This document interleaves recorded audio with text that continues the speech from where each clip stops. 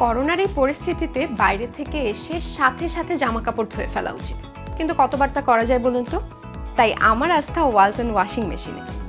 আমি যতবার বাইরে থেকে আসছি, খুব সহজে ওয়ালটন ওয়াশিং মেশিনে জামা কাপড় ধুয়ে নিচ্ছি। আপনিও কিন্তু নিজের এবং পরিবারের সুরক্ষায় ওয়ালটন ওয়াশিং মেশিন ব্যবহার করতে পারেন।